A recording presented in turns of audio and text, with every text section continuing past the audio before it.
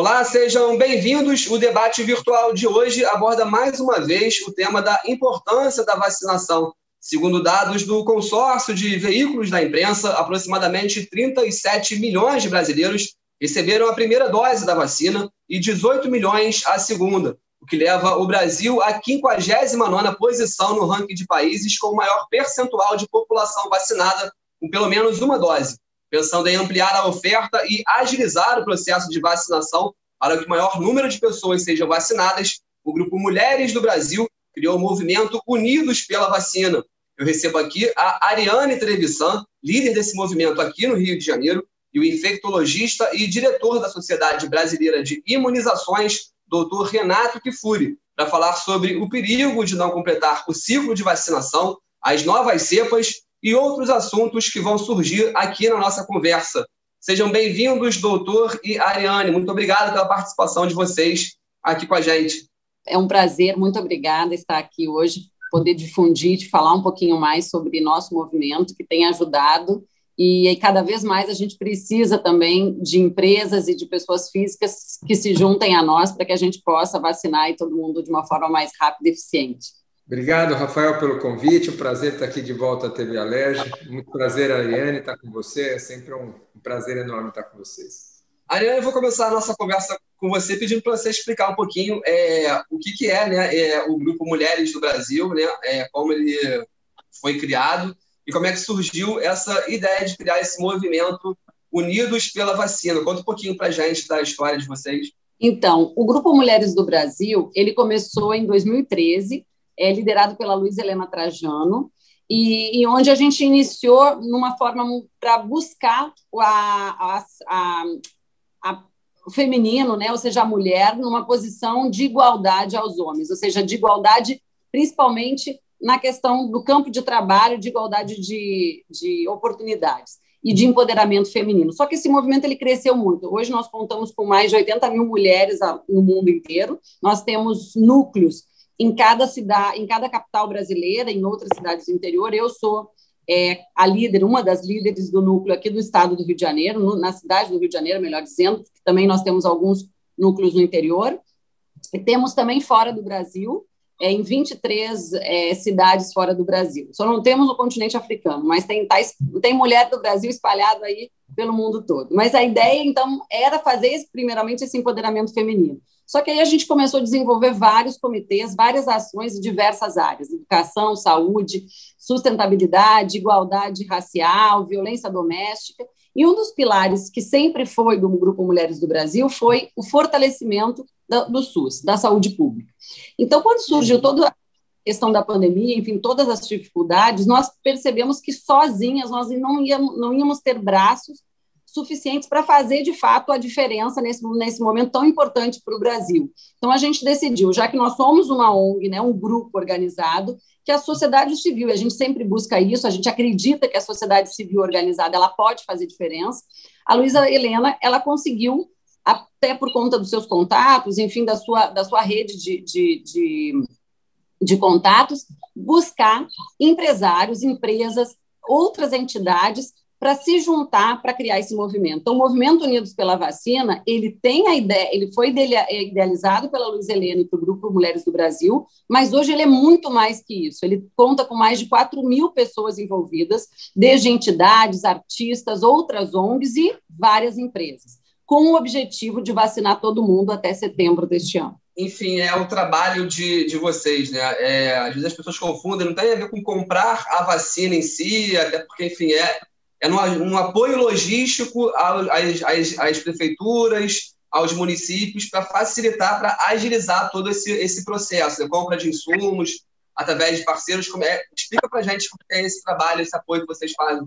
A gente ajuda nessa logística, mas principalmente o que, que a gente fez? A gente dividiu, dentro do movimento, a gente se dividiu em várias áreas. Uma área que atua no auxílio ao governo federal, de aporte, de usar também contatos e de dar um apoio para que o governo sempre que possível, né, se a gente tem os contatos, tem os conhecimentos para que o governo consiga fazer as compras das vacinas ou consiga fazer esses, essas que cheguem mais rápido, essas vacinas, se forem necessárias. Então, a gente tem várias empresas aéreas envolvidas e outras empresas, enfim, multinacionais que podem ajudar nessa interlocução. Então, a, a nossa nossa via governo federal é no, no sentido de ajudar na interlocução, depois a gente está dividido em estados e municípios.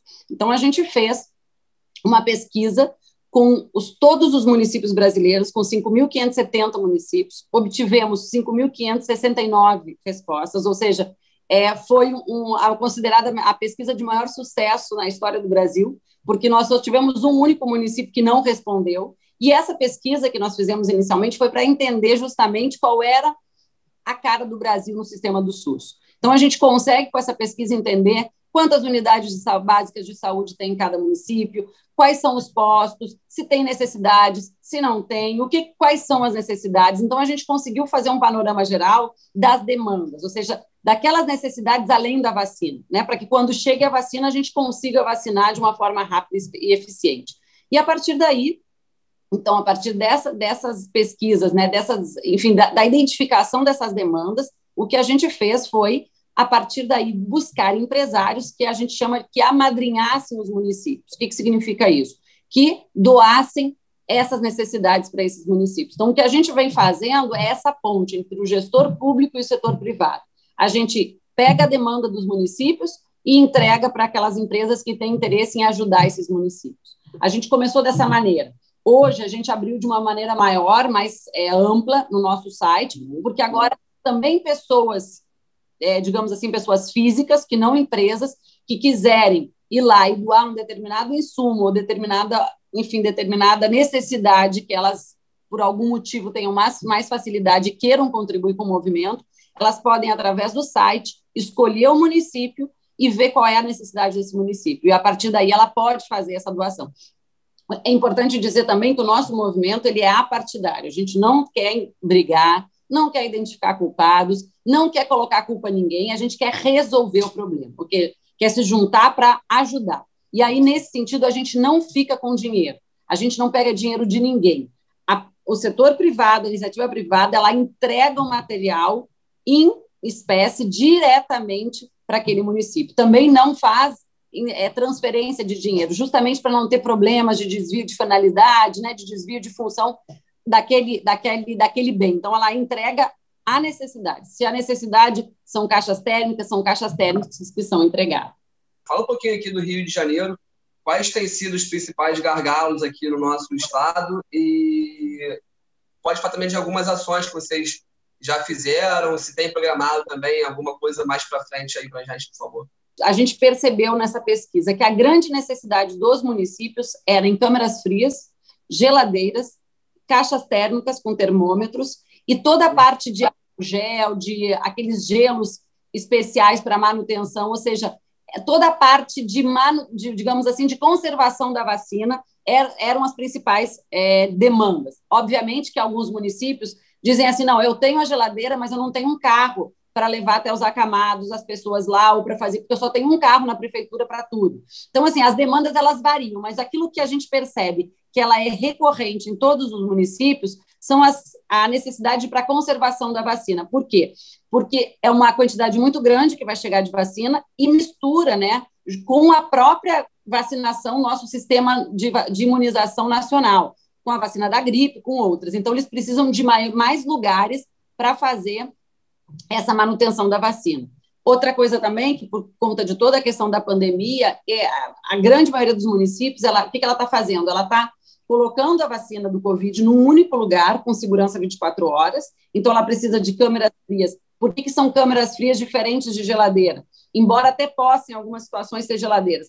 Porque existe toda uma questão de temperatura especial, com termômetro, com alarme, para que a, essa temperatura não mude, um gerador acoplado, porque se eventualmente tiver alguma falha de, de energia, para que se mantenha. Então, há toda uma preocupação com essas, com essas, é, com essas câmeras frias, há toda uma tecnologia que, que garante esse cuidado todo com a vacina. E a partir daí, eles deslocam essas vacinas ao longo dos dias para as unidades de, pelos postos de vacinação. Isso fazem através de caixas térmicas. Por isso que a caixa térmica com termômetro e com a, com a barra de gelo específica, com tudo para manutenção, também ela é muito importante, porque é ela que vai fazer a manutenção e o transporte dessas vacinas.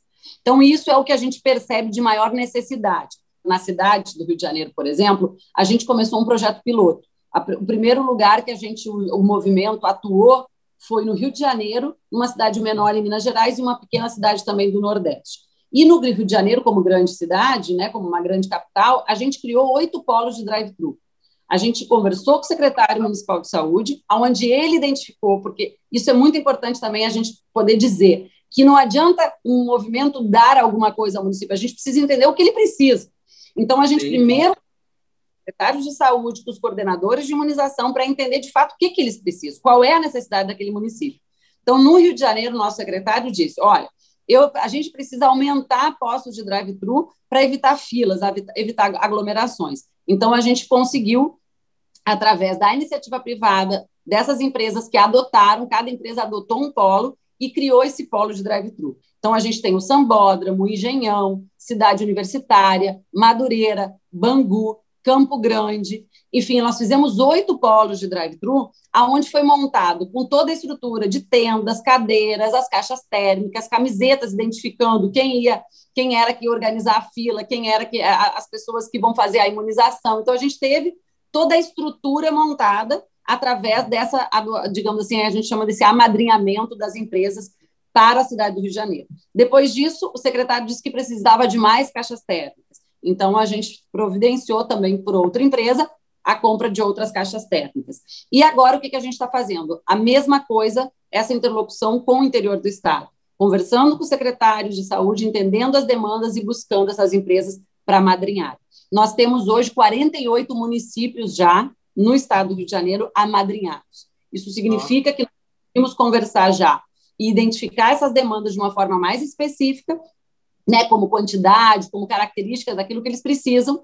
E aí a gente já conseguiu essas 48 empresas para amadrinhar. Algumas amadrinharam mais de um município e outras um único.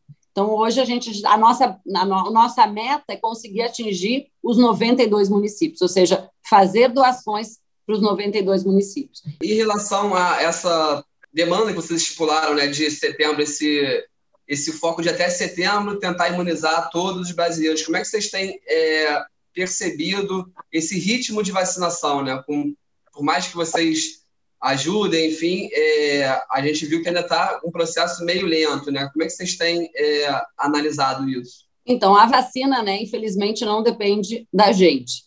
Mas o que a gente quer é arrumar a casa justamente para quando chegar ela, ela acontecer mais rápido, né? Ela, ela chegar mais rápido no braço de todo mundo.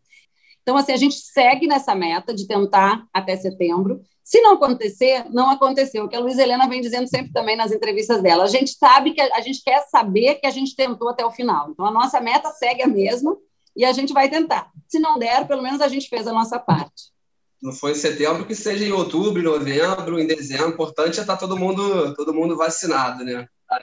Vou fazer uma pausa na nossa conversa para chamar o nosso intervalo.